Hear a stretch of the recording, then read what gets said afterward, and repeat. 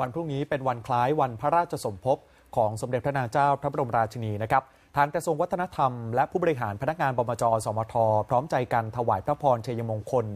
แสดงออกซึ่งความจงรักภักดีและน้อมสำนึกในพระมหากรุณาธิคุณครับนายอิทธิพลคุณปลื้มรัฐมนตรีว่าการกระทรวงวัฒนธรรมนำคณะผู้บริหารและข้าราชการกระทรวง ร่วมพิธีถวายพระพรชัยมงคล สมเด็จพระนางเจ้าสุธิดา พัชรสุธาพิมลลักษณ์พระบรมราชินี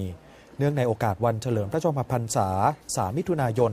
ที่ห้องโถงกระทรวงวัฒนธรรม พร้อมจัดสมุดลงนามถวายพระพร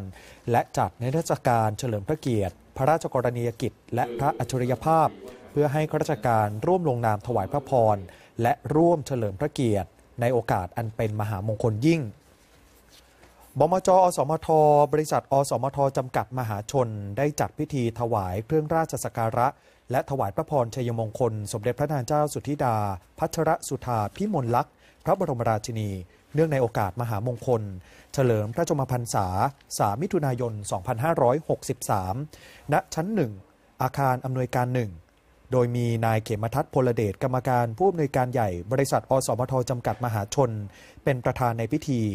นำผู้บริหารและพนักงานร่วมถวายราชสักการะเบื้องหน้าพระฉายาลักษณ์ สมเด็จพระนางเจ้าพระบรมราชินี จากนั้นประธานในพิธีนำผู้บริหารพนักงาน ร่วมลงนามถวายพระพร เพื่อแสดงออกซึ่งความจงรักภักดีและน้อมสำนึกในพระมหากรุณาธิคุณครับ